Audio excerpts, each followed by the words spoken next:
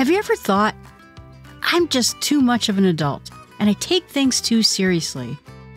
And I wonder, how can I see the world more through a child's eyes? That's what we'll talk about today.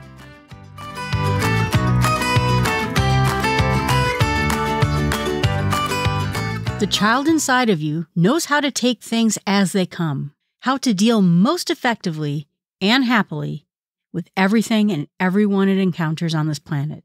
If you can recapture that childlike essence of your being, you can stay forever young at heart. Wayne Dyer.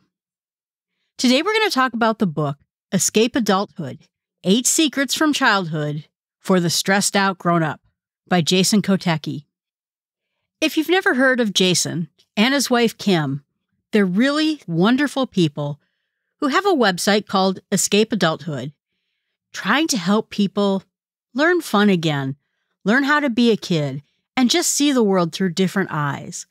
They have videos, they have a blog, and they have a bunch of tools, books, events, all sorts of things that they try to get people to get out of the humdrum life get out of their desperate lives and just start seeing the world with joy and adventure and all the things that you saw as a kid in the world around you. Instead, they want you to stop being an adult and start taking all the stupid rules that we put in our lives, all the stress, and start being fun again. Start looking at the world through their eyes so that they can help you have more fun, make better decisions, and just enjoy life again. My friend got involved with them a few years ago doing one of their photography events, and she absolutely loved it and just thinks the world of these two. And the two of them just got their lifelong ambition of buying a house on a lake. And as they were filming their video, a huge storm came by and decimated almost every tree on their brand new property. And they love the property for these trees. So they had to take a lot of their money that they made from their books and professional speaking and their artwork and put it into removing all the destroyed trees on their property. And so they asked people instead of doing a Kickstarter, if you wouldn't mind pre ordering their book. And she writes another set of books that are interesting, fun things. The one that's coming out and that they ask people to buy is a brand new book called Wonder Hunt. It's about doing a scavenger hunt in your own backyard, in the areas around you, so you can see your world with a set of new eyes. The links for their website will be in my show notes, and I thought I would talk a little bit about one of their books. Now, it's a little bit funny to me because I think at some times in the podcast, I come off as sounding like a very serious adult and I'm not all that serious. I like to goof around, I like to play, and I just tell the funny jokes whenever there's an opportunity to tell a joke. I also can be serious because I do try to improve my life and do things that are better. And so I think it's a weird discrepancy inside my own personality. Maybe I'm like an Oreo cookie with funny on the inside and serious on the outside. Or maybe it's funny on the outside and serious on the inside. I'm not really sure what it is. About escaping adulthood really helps to try to put everything into perspective. He talks about how when you were a kid, made forts out of blankets and you hid under tables. And I know for me, I had this weird closet that had a cubbyhole in it. And inside that cubbyhole, I made a pretend campsite. So I could pretend I was camping all the time. It had a little pretend fire in it and I put pretend stars on the ceiling, and it was my special place to go hide as a kid. And then we just play and we think of things and we have adventures.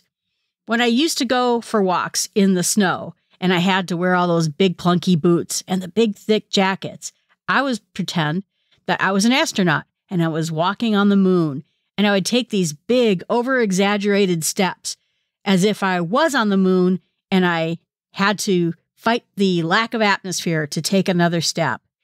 It was silly and it was funny, but the real question is where did all of that go? He talks about that in adolescence, we start going through stages where we get complex feelings, we get torn away from our childhood, and then we start getting past that and we think, of our childhood as being that uncomfortable era.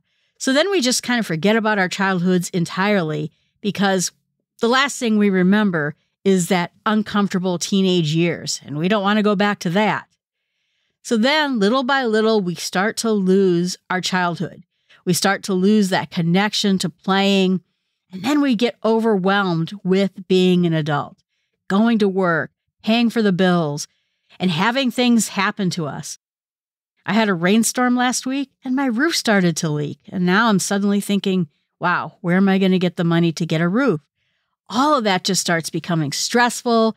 It makes us depressed.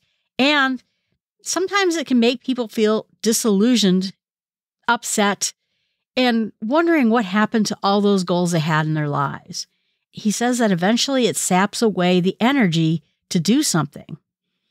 So even if we had the power and the ambition to do something about the problems in our lives, we're just exhausted because that loss of childhood and that adventure and the goals we had are so far from us that we can't bring ourselves to get back into living life like an adventure. And he says that's where we have to escape this adulthood, this stresshood that we've created for ourselves. And the interesting thing is, is as a kid, we had no power. But right now, as adults, we have that power to live our own lives, he says, and to change the things that are really dissatisfying about what we've become or the ways that our lives have gone. And we can start learning to play all over again, just like we did when we were a kid. But he says that all this stuff, all the stress, all these pressures that we feel, Nothing is written down ordering us to take that in or do all these things. Our lives are our own to live with how we want to. He says that we just have to get back into practice. We have to think about all those foods that we used to eat, all the funs we used to have, and not think about the bills. Even sometimes the simple things in life, like saying hi to a friend or calling someone and wishing them well because you know that they've had a rough time. All those things can be the simple things in life that will make life better for everybody. And it's even worse because when we tell people they're acting like a kid, we mean it as an insult. And we look at them as if they just can't grow up. We have to stop looking at childhood or having a childlike wonder as not an insult, but actually something that we're trying to attain something that we're going for so that we can make our lives happier. And he said that the very first step of doing that is to just slow down a little bit, not be so packed in with all the things that we have to do as an adult. He says that when you're a kid, you did silly things. You ate everything, you ran through the woods, you liked to laugh, you made up silly jokes, and then all the strange activities you did. I tried to build a parachute gun. I don't know what I did, but it was essentially a crossbow arrow where I took a toy that was hooked up to a parachute that I sewed myself and launched it into the air, hoping that the parachute would open. And you know what? Darn near every time the parachute didn't open and the toy came crashing to the ground. Why did I do that? I don't know, but it was a lot of fun and I remember doing that. There's all sorts of fun things that we did as a kid. And he asks us to join him in learning how to become more of a kid. Get excited about the little things in life. Start looking at the world with that sense of wonder again. He says it's time that we take time out, we eat a good meal, we pay attention to everything around us, we go to parks, and we just have some fun or watch other people have fun. We look to see what makes other people, other kids laugh and have fun, and then try to figure out what we can do to make ourselves feel that kind of joy again. And even thinking about trying to do something for someone else, be, be nice to them. Maybe bring someone flowers who needs a happy day, or volunteer for something so that you can make other people's lives better. All these things are going to help us bring back the joy in our own life and feel like a kid again. He brings up Thomas Edison, who had a really interesting quote. Because when we get stuck as being an adult, we think about, oh, I tried this and it didn't work. It's not going to work. and we dismiss things because we tried it once or we tried it a couple of times. We become frustrated. But what Edison said after he tried so many different ways to build a light bulb and they all failed, he said, I have not failed. I just found 10,000 ways that won't work. We have to get that sense of resilience back into us and not feel so stressed out when something doesn't quite go our way. We learned a lesson, and now we know how to do things better the next time. And he says, even in his own life, he thinks about these opportunities that he missed, things that he was too frightened to try.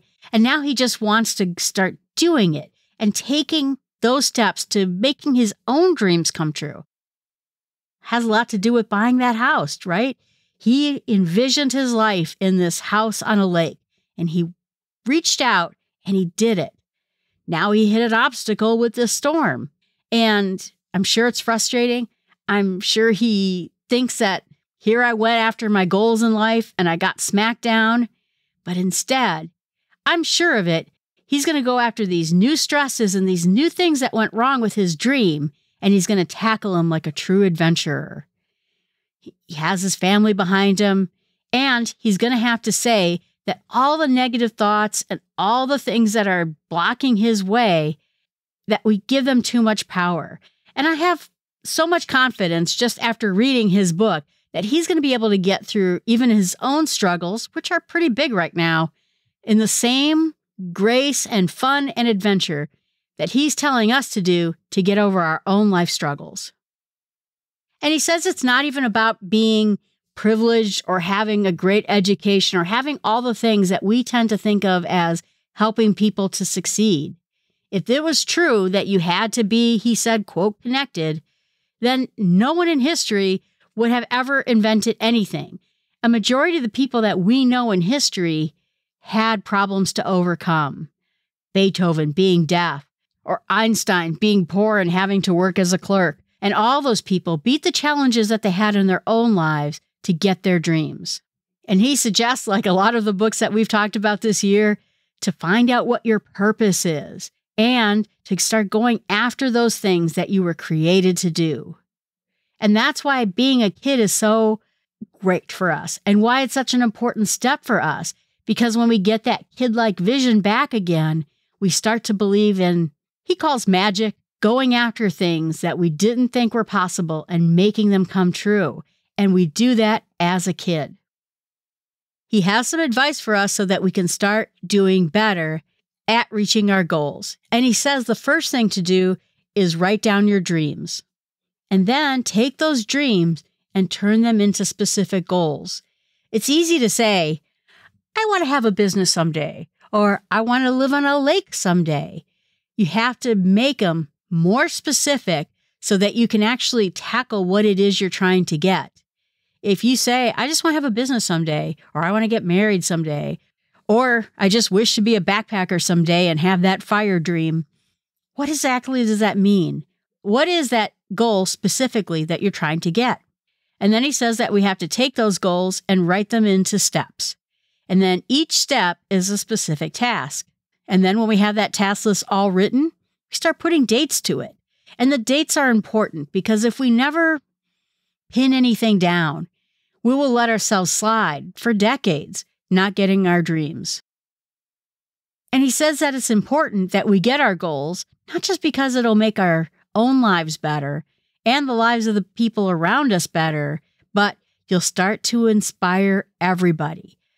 And so, what can we do when we make our own goals happen? How do we inspire other people to get their goals? I know when I lost that weight a while ago, a lot of other people came to me and said, I'm now trying to lose weight. I've never been able to do it. And now, because I've seen you do it, I feel like I could do it too. And he said, quote, if there were ever a time to dare, to make a difference, to embark on something worth doing, it is now. His book is so inspirational, and these are such inspirational people. And if you saw their videos or you read some of their other books, they're all so silly and they're fun and they're nice people. And that combination is just so hard to beat. But you want to go for something that tugs at your heart, he says, that your aspirations, something you've been dreaming of. I think something too that you have skill towards, you know, that you think that it would actually work. But he says that you owe it to yourself to make your days here count. And then he read the text from a 1991 Mac computer ad. And it says, not for any grand cause necessarily, but for something that tugs at your heart, something that's your aspiration, something that's your dream. You owe it to yourself to make your days here count. Have fun. Dig deep. Stretch. Dream big. And that was a computer ad. So, pretty inspirational for a computer ad, but he remembers it and it must have inspired him too. So, he gives us some hints about how we can dream to do better. And he said that if you could do anything with everything that you have, you know, your education, your experiences, what would you do? Even if you don't think it could happen, just write those things down. And then think some people around you that you really appreciate, who you look at mentors in your life or you look at inspirations and read some stuff about it and see what kinds of big things they had to overcome in their own life in order to make it happen. And then to make sure that whenever you have dreams, aspirations, a good idea, something that you would love to do, write that down too. And then, as he said before, start breaking them into small steps. It's important too that you have people around you who can support you. It's really hard to do things in life, but when you don't have that support backing, it can become even harder. And if you feel like you don't have that, I'm telling you to reach out and go find those people who will support you. There's always online groups of people who are doing what you're doing. When I started the podcast, I got involved in some Reddit groups and some other groups of people who are doing podcasts, and we would cheer each other on. It's important, one way or the other, to find people who have good ideas, who will listen to your ideas, and then help support you. He talks about how Ben Franklin never lost that childhood interest in other people. He says that new employees are often fantastic because they have such a fresh perspective on things. And that when we're trying to regain our curiosity in life, the best thing we can do is keep asking why. He has somebody in meetings that he calls dissenters. There's always the note taker, and there's always someone who is the person who is the devil's advocate, maybe. But instead, why not have someone that keeps asking the why question? Because they're always going to challenge those ideas, almost like a kid you know, and you keep going until you run out of why questions because you can't get any further. Those why questions are going to tell you all sorts of things. He says the other thing is that when we're ever in a new situation, the best thing we can do is ask questions of other people. But the why question will get you everywhere. And even in our own goals, he said we can turn it back at us. If we want to do something that's inspiring to us, ask ourselves a question too. You can even make it fun, he says. You could create a scrapbook of things that inspire you. We talked in that one episode about making the vision board so that you always have this visual representative in front of you. And he says that you can wear funny clothes, do lots of fun activities, sing, run around. And he gives a website, which is instituteforplay.com, if you're looking for more information on how to play. But when we get there, we can be more fun, have more imagination, and more creativity into our own problems. And he says that when we get into fear, he calls it a false evidence appearing real, meaning when we're afraid of something, we're not looking at it realistically. And what we're seeing is false. Oh, I can't do that. I can't lose weight. I can't get a new job. Anytime you tell yourself that, it's just not true and we spend too much time worrying about things that we no longer believe we can do. But he says that we have to keep going and that God has our back. We can get there if we keep trying to get there and if we give it a shot and have that childlike adventure. Says you can even write down what's the worst thing that could happen, what's the best thing that could happen, and what's the likely thing that could happen.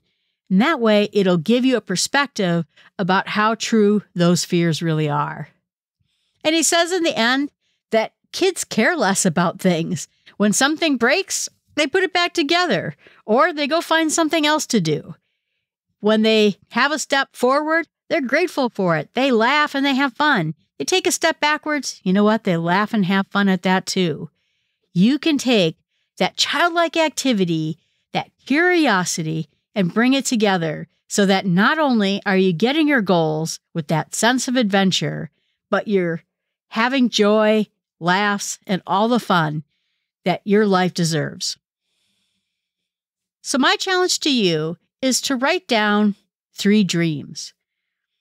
Pick one of the dreams that you think is something that you would love and that you're capable of doing, and start to give it some exact details about what it is you're looking to do. And then write the first three steps you could take in order to get that dream. I hope you enjoyed this look at childhood. All the links will be in my show notes. So if you're interested in Kim and Jason, any of their books or their events, both virtual and in person, or you just want to watch their videos, they'll be there in the show notes so you can take a look. All right, everyone, thanks so much. Have a great week, everyone. Thanks so much for being there. And again, you can email me at jill at smallstepspod.com if there's anything you'd like to tell me. And tell a friend that they can escape adulthood and be a kid again by taking small steps.